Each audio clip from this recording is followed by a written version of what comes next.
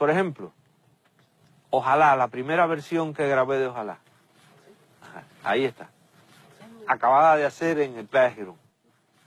Esa es la grabación original de Ojalá. O sea, cuando hice esta grabación acababa de hacer, de escribir la canción. Tetragésimo tercer producto. Tetragésimo tercer producto.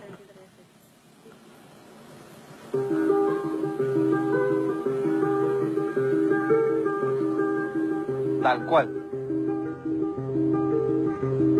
Ojalá que las hojas no te toquen el cuerpo cuando caigan, para que no las puedas convertir en cristal. Se la compuse a Emilia Sánchez, una amiga, eh, eh, filóloga, es una filóloga de Camagüey, ya está jubilada, amiga de toda la vida, ¿no? Eh, había sido novia mía cuando yo estaba en el ejército a los 18 años. Eh, cinco años después le, le escribí esta canción. Qué cosa.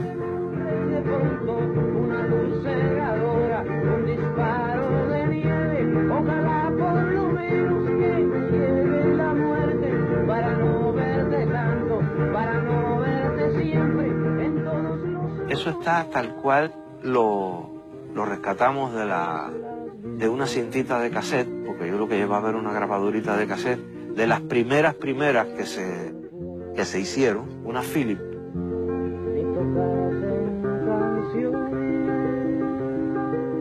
Ni tocarte en canción. Él tiene muy bien. Hice muchísimas canciones. Ojalá que las hojas no te toquen el cuerpo cuando caigan.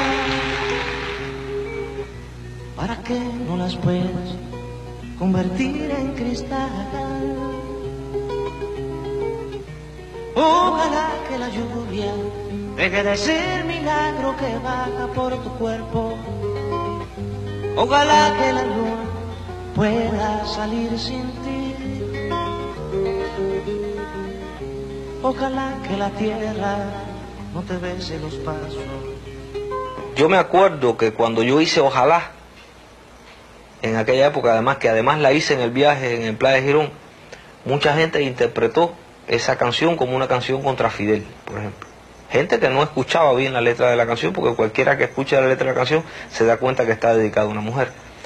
Luego, fíjate, eso llegó a, a extremos de delirio y de manipulación hace algunos años en Madrid, cuando Valladares, aquel famoso contrarrevolucionario que después lo hicieron representante de los Estados Unidos en la Asamblea de los Derechos Humanos, eh, en España escribió un artículo que se llamaba Querido Silvio, estando yo allí, donde reproducía lo que él decía que era el texto de la canción y que era un texto totalmente adulterado, donde cambiaba cosas del texto para darle eh, veracidad a la tesis de que era una canción contra Fidel.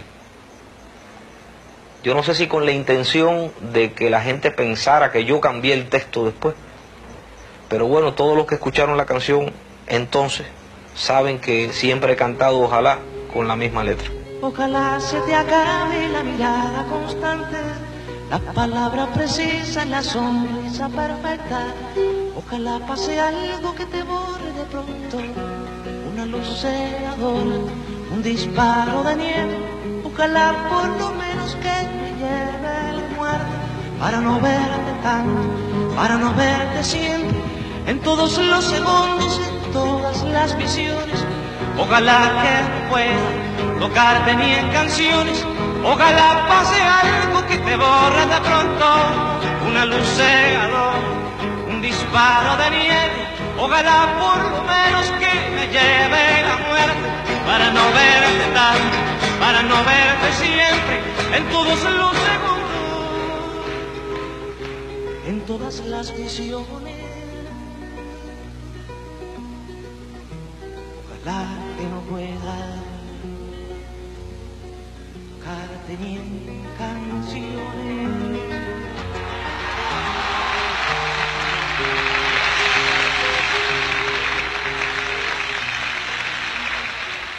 Chicos, la gente por ahí por el mundo se imagina que yo veo a Fidel cada vez que yo quiero, que yo levanto un teléfono y le digo, Fidel, oye, espérame que voy para allá. Eh, Fidel es un jefe de Estado, ¿no?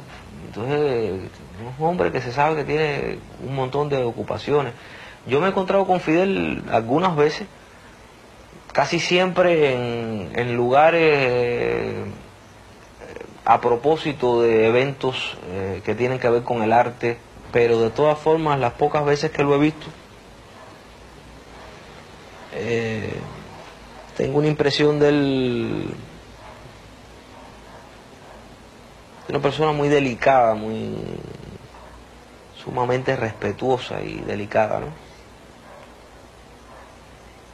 Menos una vez que me metí un dedo en el ojo, en casa de García Márquez, un 31 de diciembre. Por supuesto que sin darse cuenta, pero en fin, esas cosas pasan.